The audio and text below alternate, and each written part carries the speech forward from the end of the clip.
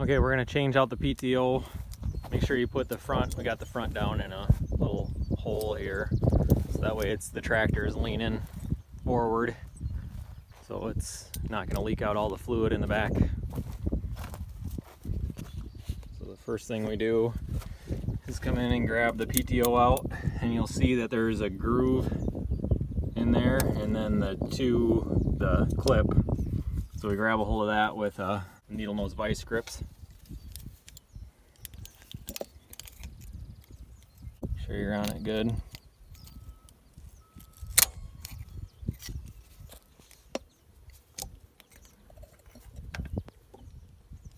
Grab this one.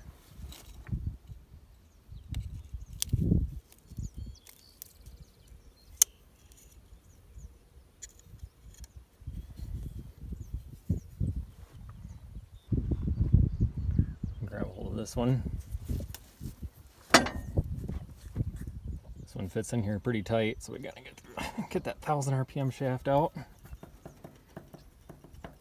And wiggle it. There it goes. Just kind of let it sit in there. Keep it out of there and try to keep it free of dirt. That's kind of the idea set it down. Normally I have two hands, but I'm trying to hold the video here. So I grab a hold of the, the 540 shaft and slide it out quick. Oh, we're losing fluid. Must not have had quite enough, quite enough uh, angle on it. So one important thing is uh, on this tractor, you can set the, so the PTO brake's not all the way on. Just kind of put it in the middle here. Then you can turn the PTO shaft a lot easier to get it to line up. So the, there it goes, slides right in. So you can see there's a nice groove there. Grab a hold of our clip. Make sure it's clean. And then you find, see there's a groove right here, a flat spot. And we'll turn it so we can get on there a little easier with the with the vice grips. Slide it in there.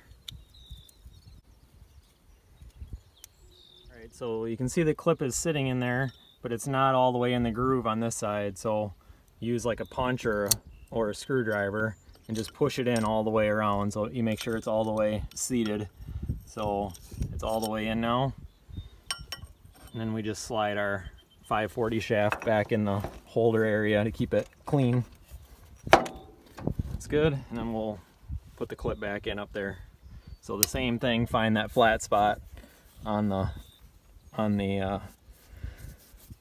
shaft so that you can easily get your um, clip on there with the pliers. So there's the flat spot right there. You can just barely see it. There you go. And we'll slide that clip back in there and we'll be good to go. So you can see it's seated in there good. We like slapped it in there with the vice grips and then pushed it in with the punch that I had. So you can see that this shaft didn't get used very much. It still got all the original paint on it yet. 1000 RPM shaft. There you go. Hopefully that helps.